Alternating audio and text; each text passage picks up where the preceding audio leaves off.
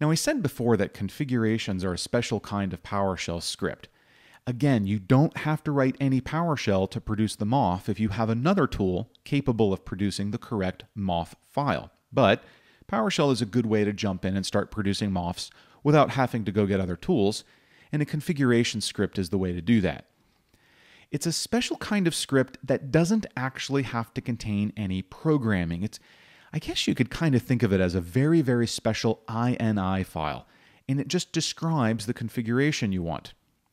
You reference resources, so the IP address resource, the DNS server resource, uh, a local user resource, all, all the different resources that you need, and you specify their settings. So you tell each resource what you want.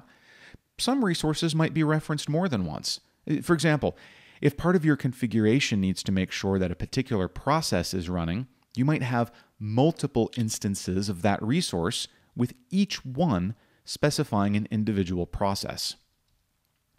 You then run that configuration on your authoring computer to produce the MOF file. Now, the MOF is always a static text file. There's no logic, there's no programming, there's no decision making. Any decisions about what's going to be configured is made in the configuration and it's evaluated when you run the configuration. The MOF is just a, you could literally open it in Notepad. It is that plain of a text file. The MOF is what gets deployed to your target nodes, either via push or to a pull server. Now, this is a very basic DSC configuration. You can see that it is written in the form of a PowerShell script. It starts with the keyword configuration, and then I provide a name for that configuration. This works a lot like a Windows PowerShell function, in that at the end of my script, I'm going to run the configuration, and that's what will actually produce the MOF. Now, inside of the configuration, I can have one or more nodes.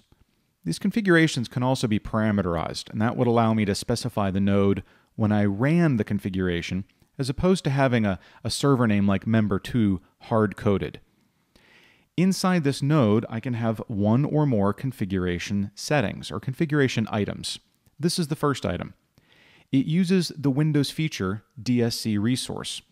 I've named it backup, but I could have named it whatever I wanted to. Each of these configuration items, depending on the resource you use, will accept one or more settings. This one has two settings. Ensure is what I use to say I want this particular Windows feature installed, and name is the name of the Windows feature that I want installed. So these are designed to be as flexible as you need them to be. I've tried to keep this one very, very, very simple just so you can kind of get an idea of what's happening. Now, I'm going to go ahead and run this, but before I do it, I need to make sure that I know where the ISE is actually focused. I'm going to put this in the C directory because it's going to save the MOFs in a folder called Windows Backup, because that's the name of my configuration and it's going to create that folder in the current directory. I really didn't want that under Windows System 32. Now I can run this. And you'll see that it created a folder called Windows Backup, and in there, oops, spell it correctly. In there, there is a file called member2.mof. Let's just have a look at him.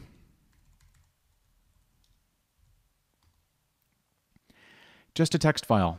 No code in here at all. Eh, it's kind of a fancy text file, but all it is is a text file. You can see that it's defining a Windows feature called backup, so forth and so on. Now, where did I get that information? Well, if you run get DSC resource, one of the DSC resources that will eventually come up at the end of this list is called Windows, Windows feature.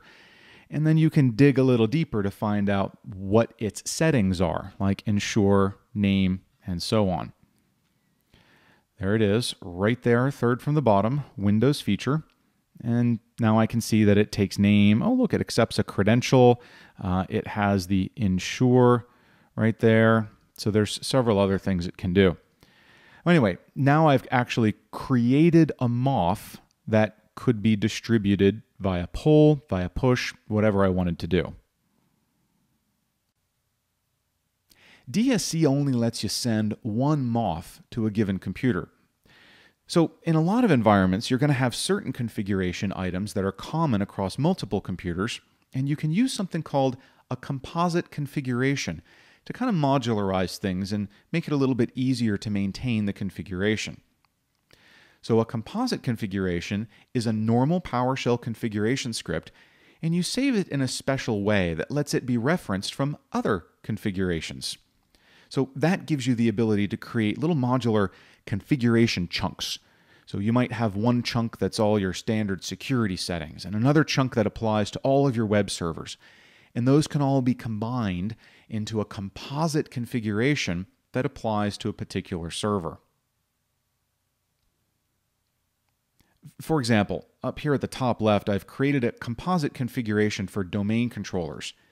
Now that's directly referencing a few DSC resources on the bottom of your screen, but it's also grabbing two configurations that were designed to, to kind of be little modular configuration chunks. The first one is just some standard intranet security settings, and the second one are some common server configuration items in our environment. So the top level one here, config A, is the composite configuration. Now, on the other side of the screen, we've got config B, which is another composite configuration intended to apply to web servers. This one is also grabbing that common server configuration, but instead of the intranet security module, it's grabbing another one that's designed for public facing servers, so you can kind of modularize these things out. And that lets you you break the config up into little chunks. Keep in mind, when you run the config, all of these are merged together into a single static MOF file. If you later go back and decide to change one of these, you have to rerun the config, produce a new MOF, and push that MOF out to the target nodes. It's the MOF that does the configuration, but the MOF can't have any logic or programming, no decision making, no modularization, nothing else. All that happens in the configuration scripts. And of course, all of these configs are referencing DSC resources to actually do their work.